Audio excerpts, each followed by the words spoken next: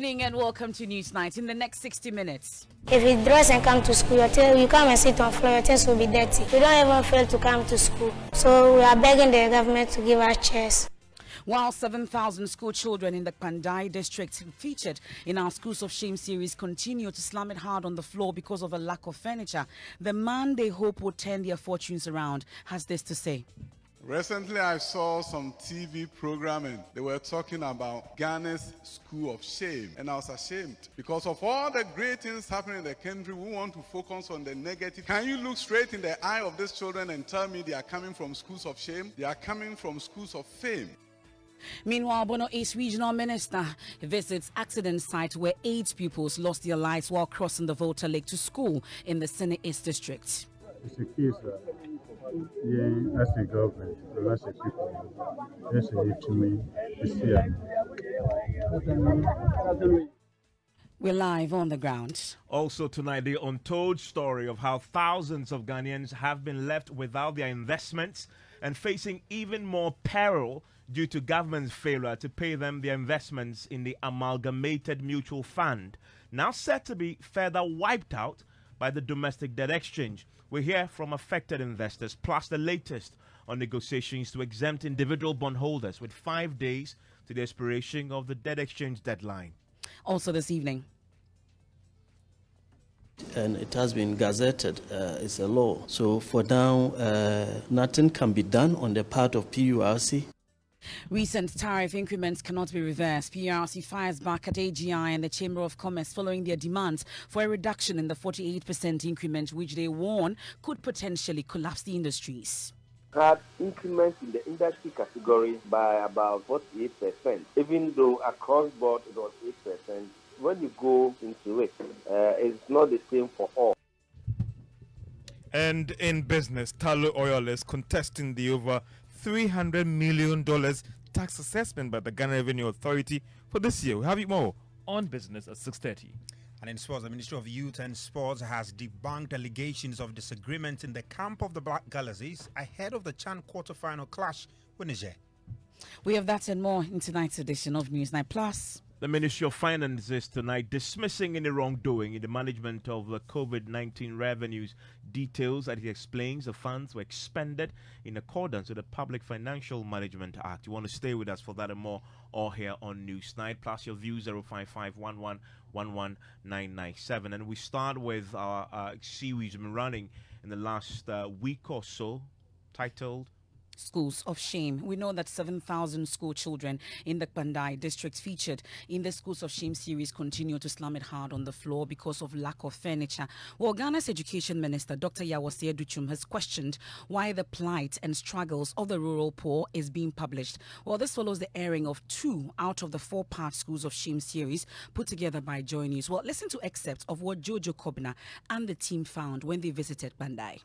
We are not sparing any efforts to make education in Ghana of the best quality and fit for the needs of the 21st century.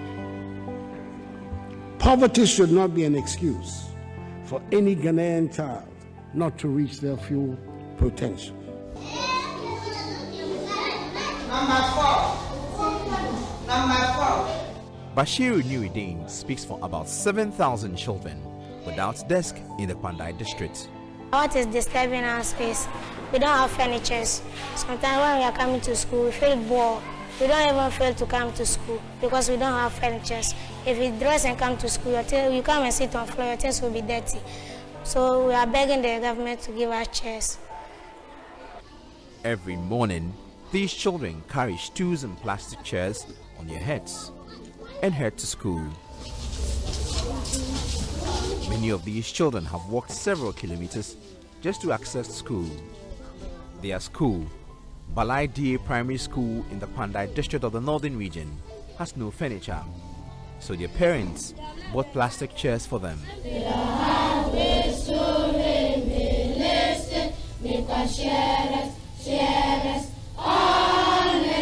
Today is very important to these pupils.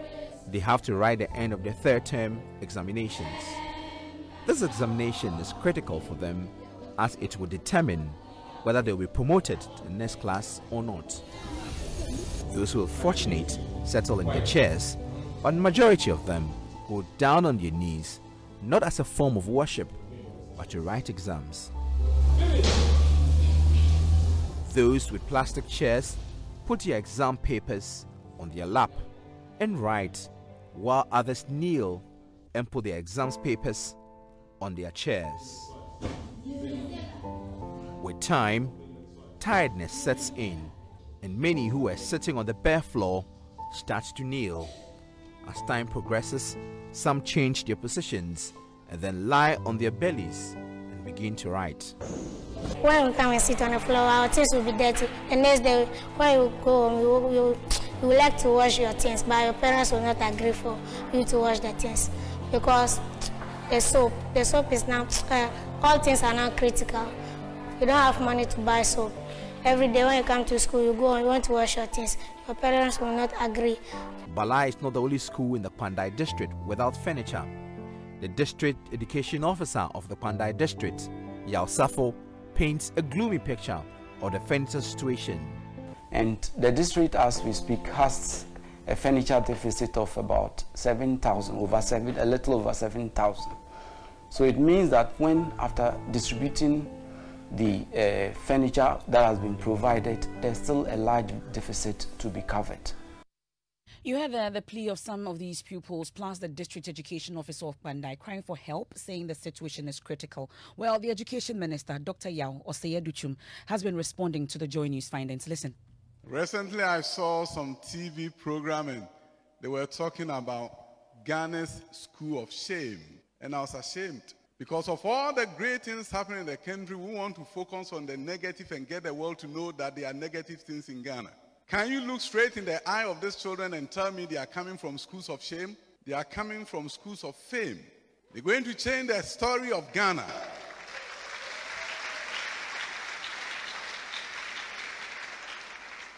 These young men and women has a fierce determination and it's palpable when you get close to them. They want to change the face of this country. What we couldn't do, they are going to do it.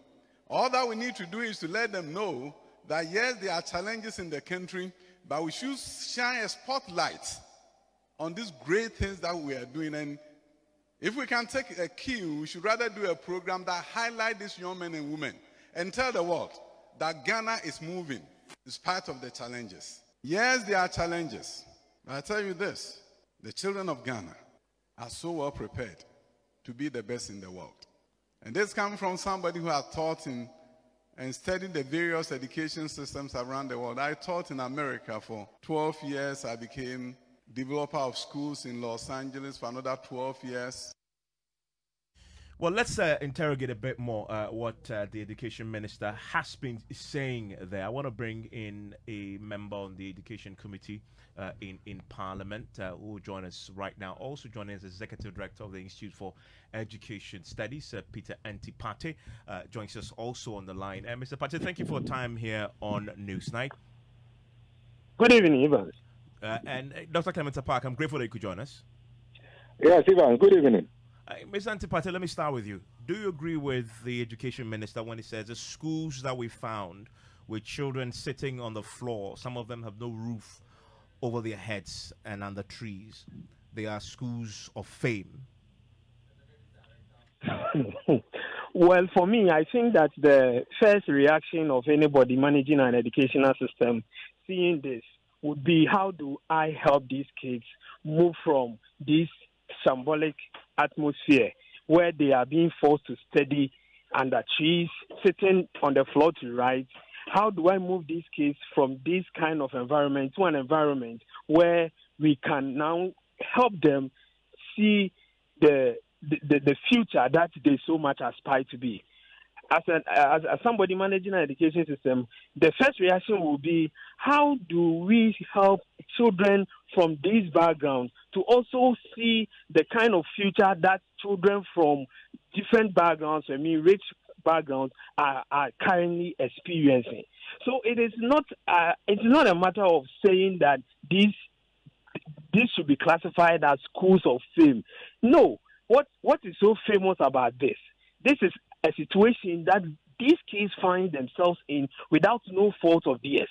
And an institution is coming out with such a good documentary to help because education is a collective responsibility to help throw light on this so that where government has failed to help this, other bodies, NGOs, CSOs, and international organizations would also see and come and help these children move from wherever they are to to a, a, better environment. So the reaction should be a positive one. We should be welcoming some of these initiatives so that we know because the fact is that the Minister of Education knows that there are schools like this because they have data that speaks to them in, in, in terms of how the various schools in various districts. Well, well as, as far as as far as the Adutwum is concerned, the focus should not be on those schools you say he knows exist, but those schools he believes uh, are indeed in a, a place of wealth and represent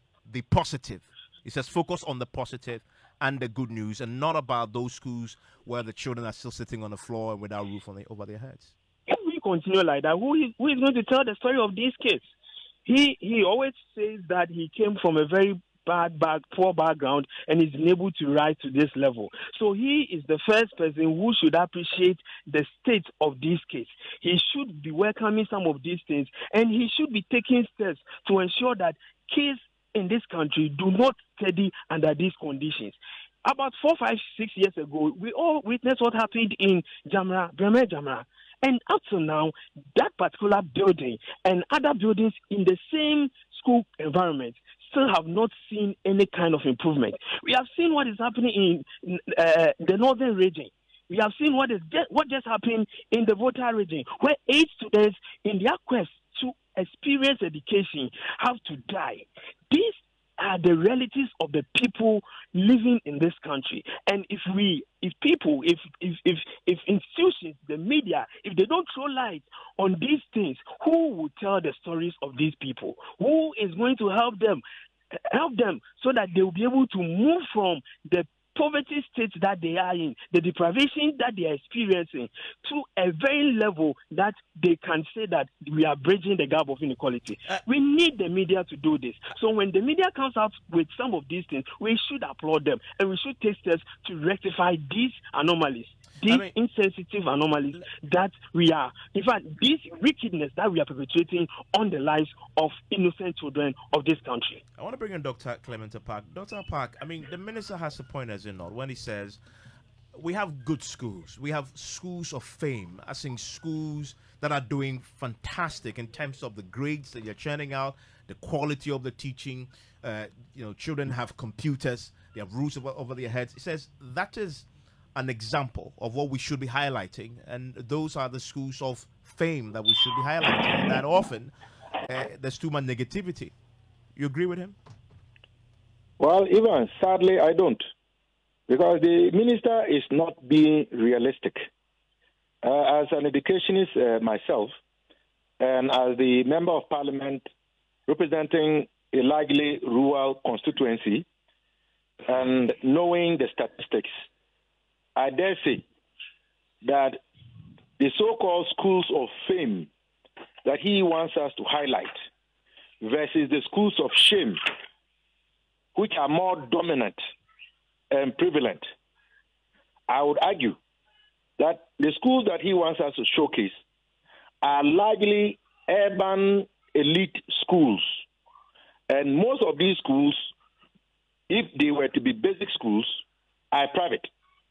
If you look at the statistics and you even look at the funding that has been going to the public basic school system, the funding has been diminishing over the last five to six years. Even as we speak, the truth is the truth. Go to every single region, every single district, and I can tell you that over 80% of the schools would fit into the mold that your media houses documentary captured. These school buildings are dilapidated. There is no furniture. There is teacher deficit. Government has failed to pay capitation grants for two years. Heads of basic public basic schools cannot even buy chalk. They can't buy registers. Textbooks which have been produced have not even been distributed to all the schools. So why would the minister expect us to push this under the carpet and to highlight what he claims to be schools of fame? He is not being realistic, and we must face the facts. We cannot pretend that all is nice and dandy when we know it is not. I am actually disappointed in the minister's posture. He should be commending the media for highlighting what is falling short, and he should be doing his best to ensure that the resources that have been voted to support the public school system, that the money that should go to pay for capitation grants, to pay for the administrative cost of running these institutions are made available. We all want good schools, but if they don't exist, is it a crime to highlight the fact that they don't? Let's talk solutions for a second. I know you are a member of parliament on the education committee. The reality is these schools exist. Um, what's the what's the solution? How do we address that problem? Well, first of all, we can begin with the nature of educational infrastructure.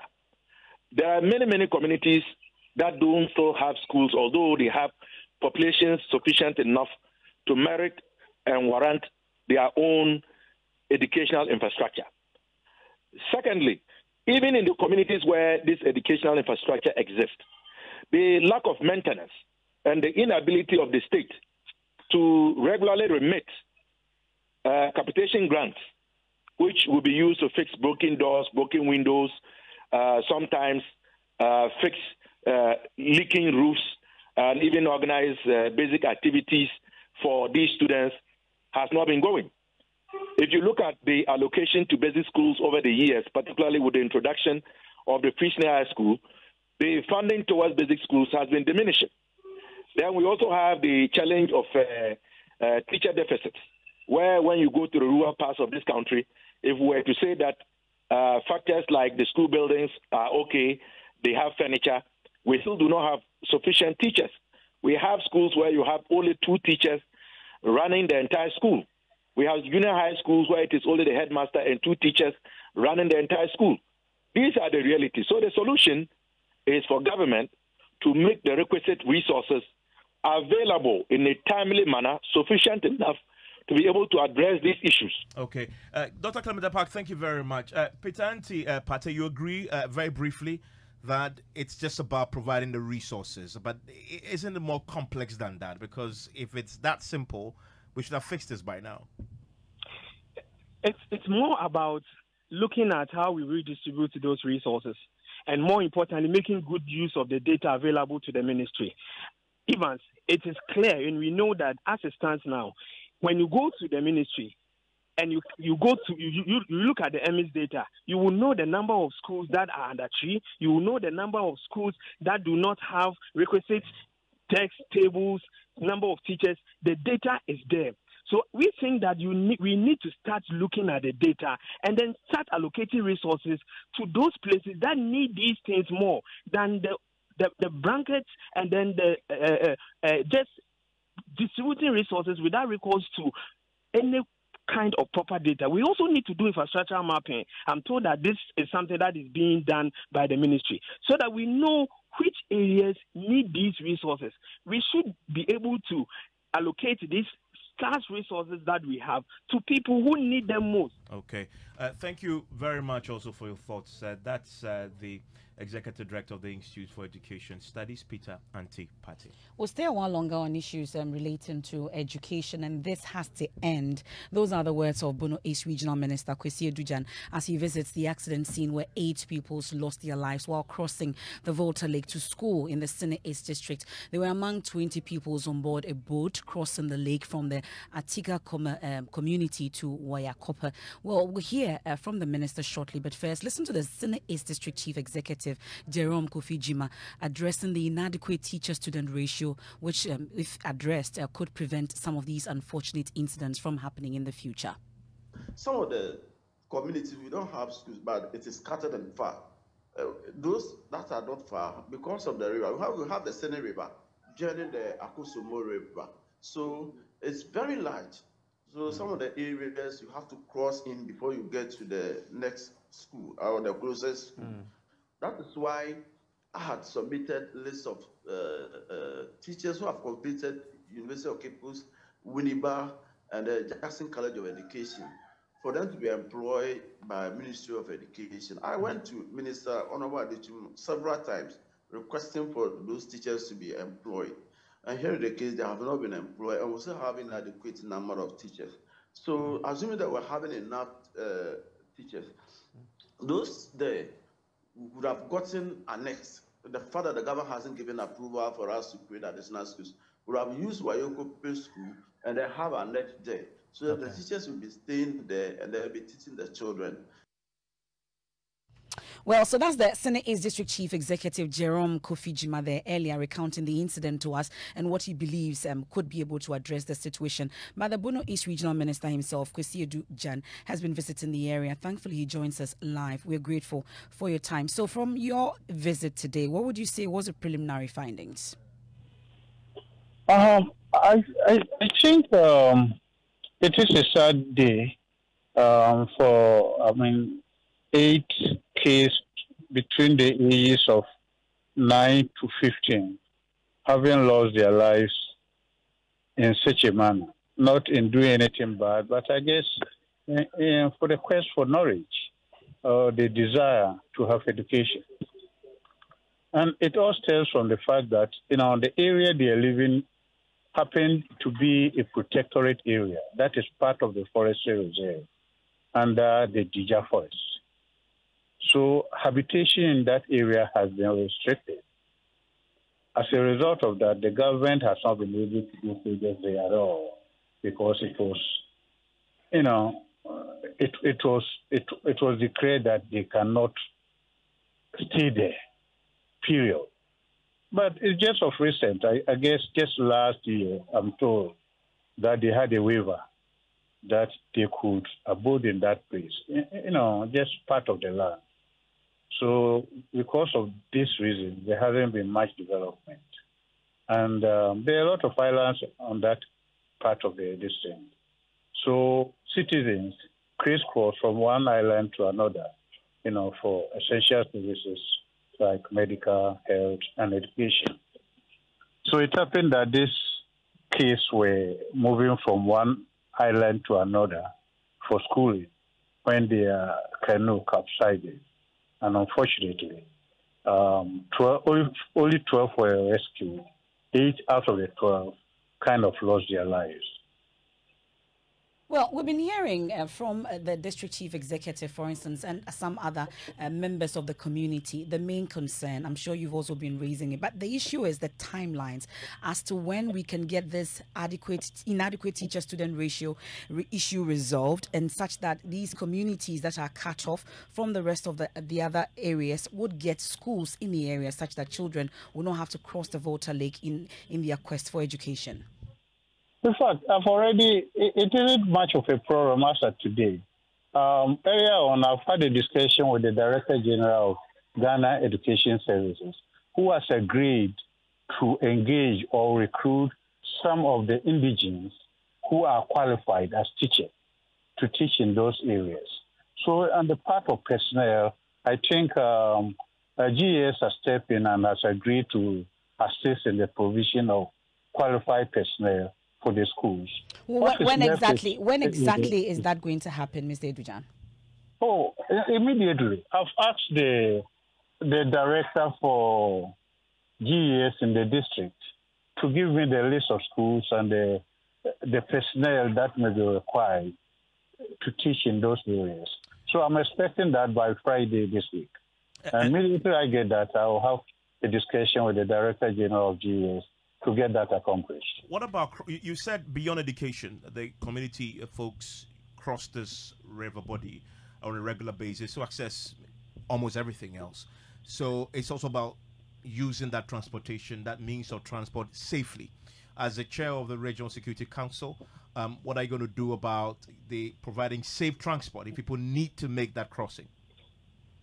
Yes, you know the the, the issue is uh, in fact, as I had a dis- as discussed earlier on with some of the media houses, I intend to engage um, VRA um, the CEO of VRA, Jefado, and uh, Zoomlion. They have some um, organization that deals with uh, the safety and other activities on the lake.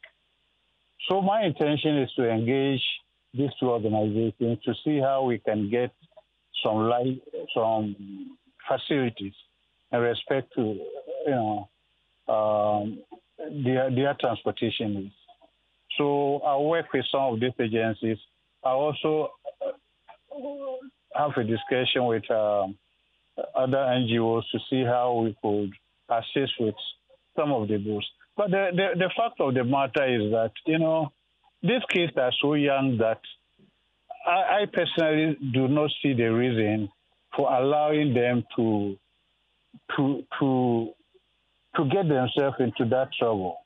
So the the the, the onus also lies on us as parents to make sure that our kids are equipped with uh, things like life jackets, you know, and that when they are traveling, you know, if you're living by the, the riverside, at least some basic skills and other things that will enable you to to to live because the government cannot really enforce some of these things in those rural areas. Mm. The responsibility lies on as parents as well to make sure that our kids are well equipped before they leave home. You, you went so to the community. A, a, a serious discussion with parents to make sure that we as parents also, uh, uh, you know, have responsibilities and we need to discharge them responsibly. You went to the community today. Did you cross that river yourself? Yes, I did. Are you in a boat? Yes, I did. I wonder, were you in a life jacket yourself? Yes, I was in a life jacket. I mean, if you could access a life jacket, why is it that the, the, the kids could not find a life jacket? It's even a question like that the kids could not have life jacket. There are life jackets in the assembly. I think it's just a question. It's just a, a matter that. So, so the assembly parents parents should, you know, parents should also assume some responsibility. No, I, I, I, I think you made you made the point about the parents. So the It's assembly. not a question of yes, life yeah. jackets not available. No, I mean, I'm, I'm just I just want to clarify. So the assembly have life jackets. Yes, the assembly had life jacket. Eh, So you got your life jacket from the assembly. I, I got mine from Zoomlion before I left Chima. Okay, so so so the question is, eh, you you got one. So Zoomlion has life jacket. When you were going, do you at least take some of that for those who need it to cross tomorrow? I, I don't think that life jacket is a problem over there. It isn't a question of life jacket. The question is as to whether the people are willing to use the life jacket. No, but is it It's not a available? question eh, of eh, unavailability of Minister, life jackets. Minister, is it if a, a child tomorrow wants to cross to school, is it available at the point of crossing that when you're boarding that boat that you used, the child can grab it and put it on, and an adult can help him wear it to cross? It is the responsibility of a, a parent to make sure that before the kids get into the boat, they have life jackets. There's Yes, not a question. But but the, but the life jacket, the life jacket, jacket. that's what It's I'm asking. not a question at all. No, that's what I'm asking for clarity. At the point of boarding a boat to cross, is the life jacket available at that point, and is this visible and and being uh, in in somebody's possession to hand over to people crossing? The, the question is, you know, I've already answered that unaval- there is not a problem of unavailability No, but when you say when it says not, life it's not available. no where they, they are available. No, it's important, uh, Minister. They are available where? Well, the, the question is, are parents ready to make sure that their lives, their kids are safe before they go out? That's the question. No, but so what? Yeah, I, so the question is, you're saying parents should ensure that the children wear the life jackets. Is that your argument? It, it is the responsibility of the government to provide a neighboring environment, Including the life sure jackets. facilities are provided. Yes. and it is also the responsibility of a parent to make sure that the facilities that the kids need for them to go out, they, they, they make sure that they enforce it. Okay, so but, but, but we need The, to the clarify government this. has its responsibility. Minister, the reason the, the, the reason why also have a Minister, the reason why this, the, the reason why this question is important is that as we speak tonight, tomorrow people will still need to cross. Children may still have to cross because they don't have any other alternative. So you need to you need to be clear with parents. If tomorrow a parent need to get a child across to school, where can the parent get the life jacket to use? Assemblies have been directed. The assembly has been directed to make it available. And as I mentioned to you, it's it's like having a kid in a car. A car has a seat belt. It's the responsibility of a parent to enforce that the seat belt Okay. Yes, it's but, but by if the you, kid. But if you don't the have government it, but, cannot force the parent. No, but you just to said sure, you to just, ensure that Minister, you just said that you, responsibility you've now, of the kid. You've just said you've now directed Of the parent, rather. You've just directed the assembly to make it available. That's an admission that before now, the life jackets were not available to the children and the parents to use to access. Come again. You just admitted that before now, the life jackets were not available to the parents and their children to use. Life jackets are not available for parents to use. Is that that's the question you are asking? Yes, because you've just directed uh, And my, that my, my answer is that it is the responsibility of the parent to make sure that they have life jackets, okay, to make sure that they have life jackets before the kids get into the so, boat. so the, the you, wa- you said the poor parents in this very poor, extremely Well, deprived no, community nobody should is buy life saying that jackets. they are- they- nobody is saying it's a very poor area. What I said is that it used to be a protectorate area. Habitation was not allowed previously. It's just of recent that it has been allowed. They are fishermen, they are farmers, they are cattle dealers, there are animal reariers. Hmm. Thank you very much. Uh, that's the uh, Bono East Minister. regional Kwesi minister Ejima. uh, there. Uh, very quickly, very, very briefly, um, Kofi Asare with the Africa Education World issued a statement on this. Uh, uh, Kofi, you had asked for this, the same thing we've just been pushing the minister on about making the transportation safe. Um, how quickly do you want to see this done, very briefly? Immediately, uh, immediately, this should be done. I disagree with the regional minister that government cannot enforce standards at the at the at the both sites. I vehemently disagree with the regional minister that the issue is not about the availability of life jackets. We have been in touch with education officials in the district since morning, and I can confirm that there were no life jackets. And they even indicated that even for their field trips, visiting island communities from the district capital, when they are going, they struggle to get life jackets. And so they themselves, the education officials, need life jackets in, in addition to the students who live in island communities. The third issue is that, of course, we all know that the, the boats were overloaded. And so if there were, uh, if there was there was effective regulatory oversight, I'm sure the same person who would have prevented the boat from moving without life jackets would have prevented the same from moving because the boats were overloaded. So I believe that the Ministry of Education and DF should work together and get every child who- who is in basic school living in an island school community a life jacket. Teachers should be oriented such that in the same way teachers inspect school uniforms when the pupils come to school in these island schools, they should inspect life jackets provided for by the GES or the Ministry of Education every morning. That is not something without the financial might of the GES or the Ministry of. Well, we just heard from the minister who is, is chairs the Regional Security Council that he's directed the assembly to provide life jackets. He, before he boarded that boat, picked one up. He, he said he told us where um, Zoomlion. So clearly he knows where they are. It's a question of making it available for them. And tomorrow we'll be checking if that directive is being carried out. Because as we speak right now, those people in that community do not have any other choice than still board that uh, very risky boat across, including children. Uh, many of them perished as a result of their desire to get education. Well, let's do some of your messages before we go for business with George Wiafe. Samin Kumasi uh, says, Did I hear the education minister say Joy FM should rather highlight the gains made by the government than focus on those dilapidated schools in America where he was teaching? Had he ever seen children learning in such environment?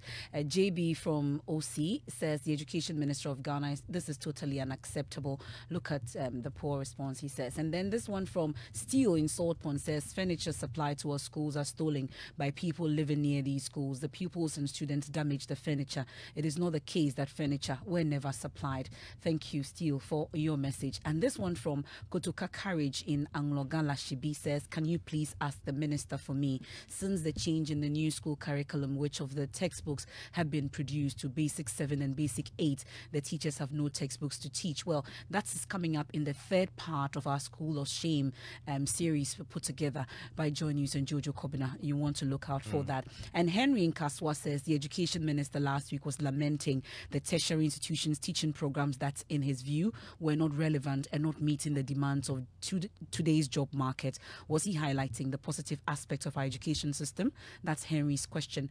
And Ni uh, James in Accra says, I think you are misrepresenting the minister. If I heard him right, he's rather asking that we appreciate these children who, against all odds, are trying to cope. Okay.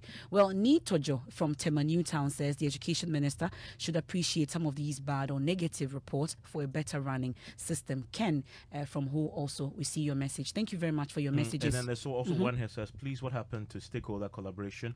What makes the minister think uh, we want to wash our dirty linen in public? All the little boy asked for was chairs, such a basic learning tool. and he says uh, this uh, minister uh, doesn't deserve his portfolio. Well, let's do uh, business. You can send me more of your messages. It's via WhatsApp is 0551111997. Many of you are also tweeting at us um, on Twitter and also on Facebook. You can post your messages there as well. We're live on myjoyonline.com, also on Love 99.5 FM in Kumasi. George is here with business. Hello, George. Interesting development, Mefa. Well, coming up in business, Tullow Oil contests over 300 million tax assessment by the Ghana Revenue Authority for this year, as well as a separate one done in 2022. In industry's uh, hints of more layoffs, the Bank of Ghana goes ahead to increase policy rate from next week. The business news on Newsnight is brought to you by MTN Business. Welcome to the new world of business. Allianz Life and Ghana Pay. You're welcome back to Business on Newsnight. Now, oil exploration firm Tullow has announced that it expects daily production on the field to exceed 100,000 barrels of crude oil this year. It is also planning to invest more than 70% of the group's capital expenditure in Ghana. Now, this was captured in the firm's January update and operational statement released today. There is more in this report. The target represents a marginal improvement from what it realized in 2022. According to Tullow Oil, the growth will be driven by drillings on new wells on the Jubilee and Trinidad, in Tome and Yara area on Ghana's oil fields. Tullow is also confident that various other measures that it has instituted will aid in the recovery of its operations going forward. The oil exploration firm also disclosed that two wells that it drilled last year, as well as another in 2023, should be operational by second quarter. The update also showed that Tullow is planning to invest $300 million this year in Ghana when it comes to capital expenditure out of $400 million that it is budgeting for the group in 2023.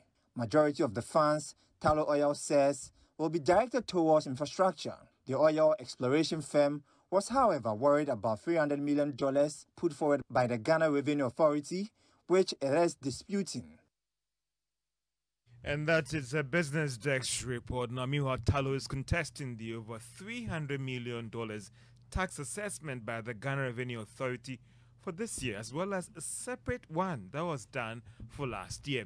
According to Tullow, it is still engaging the Ghana Revenue Authority and government to reduce or review this a separate tax assessment that was done in 2022, as well as the one done for this year. Now, this is the second multinational to actually contest these tax assessments done by the Ghana Revenue Authority. The first one was by MTN, that is also contesting the over 8 billion tax charge by the tax authorities.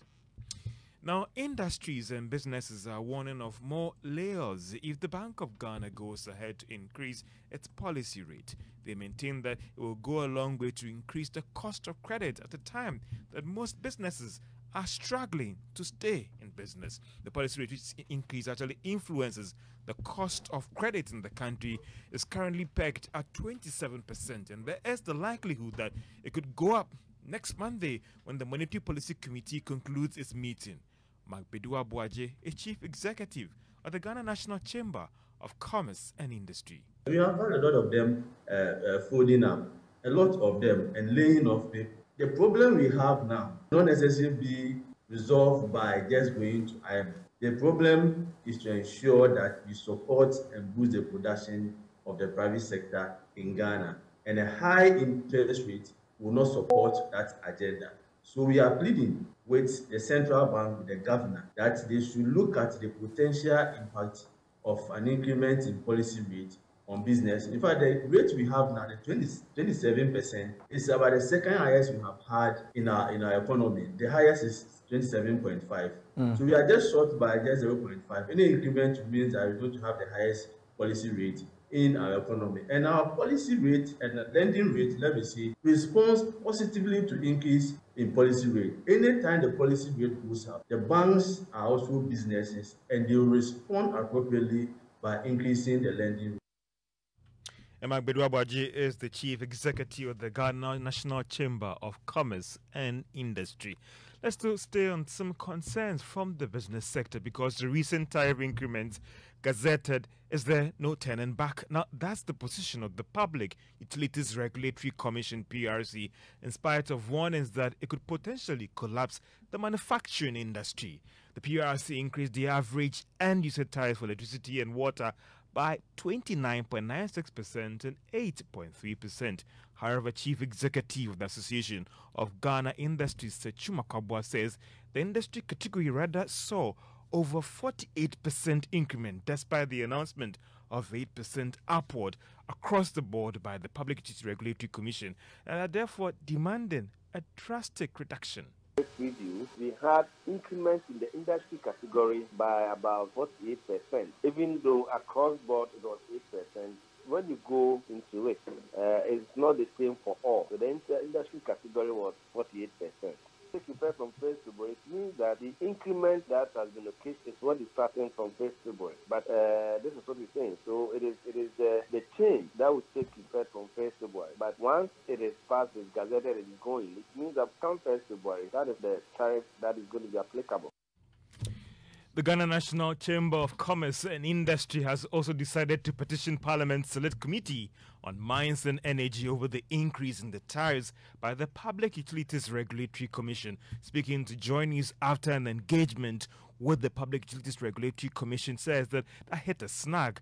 President of the Ghana National Chamber of Commerce and Industry, Clement Osei-Amoako, said they will continue to push for a downward review for the increment laws are made by men. If it's gazetted, this is not the first time that um, prices have gone up, that it, it, has not come down. We always make um, our voice known to them, and sometimes they look at the window and they adhere to that.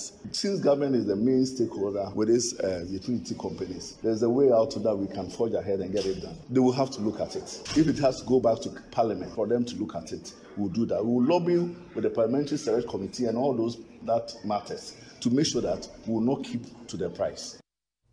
But in a sharp response, the chief executive of the Public Utilities Regulatory Commission, Dr. Ishmael Ackah, said nothing can be done about it since the tariffs has already been gazetted. This adjustment, the decision has been made and it has been gazetted. Uh, it's a law. So for now, nothing can be done on the part of PURC. However, there will be other quarterly adjustments. So we, what we are doing is to establish the protocols for engagement. You see that uh, we take, and let me also add that even before we engage the chamber, uh, PURC on its own had put in measures to protect industry. One of them was that we have been able to reverse the structure for the first time for SMEs. You heard the Chief Executive of the Public Utilities Regulatory Commission, Dr. Ishmael Akam. Now, government has indicated that it is hoping. Let's move on to other stories. And government has indicated that it is hoping to finalize negotiations with all the stakeholders when it comes to the domestic debt exchange program. Now, Joy Business is learning that the government has made some significant progress on reaching some agreement with insurance companies as well as the capital market players. However, it looks like the biggest challenge now is to getting on board the individual bond holders. In a later development, the Minister of Finance had earlier told Joy Business that they are working hard to ensure that they don't extend negotiations again after January 31. We have had a lot of them uh, uh, folding up, a lot of them, and laying off people. The problem we have now not necessarily be resolved by just going to IMF. The problem is to ensure that we support and boost the production of the private sector in Ghana. And a high interest rate will not support that agenda. So we are pleading with the central bank, the governor, that they should look at the potential impact of an increment in policy rate on business. In fact, the rate we have now, the 20, 27%, is about the second highest we have had in our in our economy. The highest is 27.5. Mm. So we are just short by just 0.5. Any increment means that we don't No, I don't think so. I, am I'm confident that we'll get there. You know, we, we have done the um, staff level agreement, as you know. We met with the Paris Club membership, um, and we have given them till end of February um, for us to go through what we call the common framework. And then we expect them to go to um, board um, in Washington in March. Um, so really, we don't have that type of time. And that was the Finance Minister Ken Ofori-Atta speaking to us in an earlier interview. And apologies for that earlier mix up with the sound to other stories. And let's, the finance minister, Ken Ofori-Atta, may need over $10 billion to plug the revenue gap as well as turn around the economy quickly. Now, that's according to the member of parliament for Tamale South, that is Haruna Iddrisu. The development that is the minister, that is the member of parliament indicates that the IMF funds might not be enough to aid the recovery. Iddrisu argues the development calls for more dialogue between the finance ministry and parliament the whole of Ghana is 10.6, 10.5 billion US dollars. The IMF may provide some 3 billion, 1 billion from the bilateral or multilateral partners, 6.5 billion or at least 4.6 billion is expected from commercial creditors. Let that happen first before you talk about an IMF approval. IMF board meeting in March. I'm not even aware that they have a meeting in March. No, I mean they ex- they're expecting no, and I say, they will get the executive alone, board approval. No, let alone expecting that the executive board of IMF will meet in March. I'm not aware. Uh, so you don't share in that optimism that no, they'll, they'll strike an my, executive board approval. My optimism for Ghana for an IMF executive board approval contingent on the success of the domestic bond direction program debt exchange program and external creditors will be July, not March. And that is the Member of Parliament for Tamale South, Haruna Iddrisu. He also alleges that the country's international reserves has declined to one month, development that he describes as serious. To other stories, uh, that is the newest and the most dynamic e-commerce platform, has officially been launched in the country with the tagline abundance of choice. It is promising to bring to its customers the best selection of products from top brands around the world. The company said its goal is to provide Ghanaian customers exceptional shopping experience. Founded in 2001, the I Pay for All wing meal originates from the United Arab Emirates. The stock market, if you are a shareholder in CalBank, you lost the pesewa and it's now worth 56 pesos. And that's all uh, for business on Newsnight. Thank you very much, George. Let's do sports. Musbal, what do we have? Well, MF, uh, the Minister of Youth and Sports has denied allegations of confusion in the Black Galaxies camp due to non-payment of bonuses. Earlier, there were reports of agitations in camp due to the ministry's alleged failure to pay the team's bonuses and decision to reduce same situation which could impede preparation for the quarter-final clash with Niger. However, in a statement published on its social media pages, the ministry clarified that it has since honored the $6,000 bonus owed the team and further denied allegations of renegotiating the qualification bonuses agreed upon. According to the ministry, all is well in the camp while the team continue its quest to win the first Chan Trophy after missing out in 2009 2014 when they made it to the finals. And just an update on Ghana's Antoine Semenyo. He has been linked with a move to Crystal Palace and hopefully before the end of the January transfer window is likely to head there. Likewise, Kamaldeen Sulemana is also being eyed with a move to Southampton and PSV Eindhoven in the Dutch Eredivisie. We wait to see what happens to these Ghanaian players and hopefully they just might secure this deal for themselves. Thank you very much, Ms. Bao. And Evans, it's just about five days to the expiration of the debt exchange deadline, and we're hearing about the untold story of how Gan- thousands of Ghanaians have been left without their investments and facing even more peril due to government's failure to pay them their investments in the amalgamated mutual fund, now set to be further wiped out by the domestic debt exchange. We're learning more about this. Tell us. Yes, I don't know if you remember in the midst of that uh, financial sector cleanup cleanup that happened, many of the savings and loans went under, and the government said, well, those who were saving there, no fault of theirs, government was going to protect them. And so they set up this amalgamated mutual fund, uh, was set up by the GCB Capital Limited uh, with funding from the government of Ghana as a special purpose vehicle to implement a bailout program. Uh, for those investors whose funds were locked up in the uh, de- defunct, now defunct uh, fund management companies. The fund is an open ended collective investment scheme it is structured in two tiers. So tier one is the liquid component of the fund, which allows for immediate withdrawals if you desire it. And then tier two is a long-term component with withdrawal restrictions uh, that uh, you can withdraw over a period of time. However, we're learning that that fund is empty. Mm. Uh, but however, it's still subject to the domestic debt exchange, and the people who were locked in this haven't been paid, but their you know fund is also going to be wiped out by the domestic debt exchange. Let's bring in Yao, Owusu Brifo, who is an accountant but also uh, one of the investors investors affected uh, by this. Yeah, so you haven't been paid at all uh, from this amalgamated mutual fund. Um, Evans, we were paid uh, in 2020 and then in 2021. Last year, November, we were supposed to have received the tier two portion of that money, and it didn't come. I made calls to the fund, and they said they had not received any money from the Minister of Finance to pay us and that on their own they didn't have any money except the Minister of Finance give them funds and order them to pay. So f- since 2021, you haven't received anything. No.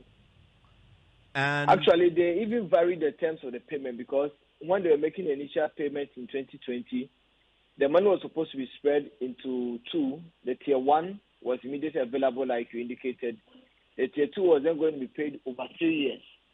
But then in 2021, they said they were then going to spread it over a five-year period, which was going to make it six years to wait for the entire money to be paid. But that was fine anyway. So they paid the first portion in 2021 with a promise to pay another 20% in 22 and then the remaining 60% in the next three years. But last year they did not make any payment. And they even had a courtesy of informing creditors that they, they had not made any money. We waited and nothing came. People made calls, they only told that they don't have money, and that was it. Now you have the domestic debt exchange. This this is double jeopardy for you. Yeah. Uh, what's what what's your what's your fear now? Now that this is going to happen, because obviously you've not been paid. From everything I'm learning, there's nothing in the fund. This is further going to wipe out that investment you made. Yeah, I, I do I do have some innate feeling that the AM fund may probably have invested the money in these bonds as well that that could be contrary to the Public Financial Management Act because it was government's own money that was approved by Parliament to be used to pay these creditors. It couldn't have been used to buy government bonds again. But it amazes me how the AM fund is dry just after a year after the entire 28 billion was approved for government to pay these creditors. So, I mean, this is why we are currently protesting the inclusion of individuals in this domestic debt exchange because there are a lot of people in my category who lost money in the first banking sector cleanup and are currently also going to lose money in the exchange. So you are just telling us basically that we can't trust banks, we can't trust uh, mutual funds, and we can't trust anybody else. Uh, lawyer Martin Kpebu joins us now. Uh, Martin, so you're hearing this story. Um, this is unfortunately one of those stories we haven't focused on at all in, in this conversation with Debt Exchange, but they are significantly affected people who were victims of the banking sector collapse the last time, who are again going to be severely affected by what is currently happening. Mm-hmm. That's correct, Evans. That's correct. And you know, yeah, it's part of our uh, individual bondholders forum. yeah, a very active member. So, Evans, this is the more reason why we have to fight with the last breath that we can muster to be able to hold government off. That is to say, the Minister for Finance should totally exempt individual bondholders because individual bondholders have suffered enough from the banking sector cleanup to the cost of living crisis last year, which we are still suffering. Prices of goods haven't skyrocketed, right? And some, a lot of them have remained up there. And so we are all suffering. And so the Constitution makes it clear that don't kill citizens in the name of development. Don't kill citizens in the name of development. Because if you don't have people, then you don't have a country. So we're hoping that once the technical committee is done, the finance minister will exempt individual bondholders with dispatch quickly so that the anxieties, the palpitations, the agonies, and all the other things we are suffering will come to an end. Evans, people can't sleep. I don't know how many times I have to repeat this. People can't sleep. It's really, really terrible. This uh, uh, proposed inclusion of individual bondholders is causing lots of people sleepless nights. People's future have been jeopardized because they don't know whether uh, they would soon be exempted so that they know that they can get their money. Because let's not forget, this year about 6.6 billion of the bonds will mature. Yes, that's the next month. Quite a number of them will mature next month. It's a very significant number. So people are sitting on tenterhooks. And so we just pray that when the technical committee is done, the finance minister will let the people go quickly. Yeah. And very quickly, uh, Martin, we have a couple of days before this working week ends. Um, have we made any progress with the technical committee meetings, and are we expecting an announcement soon before Tuesday when the whole thing expires? Exactly, Evans. Exactly. We are currently trying to wrap up the report. Hopefully, we should finish tonight and sign off.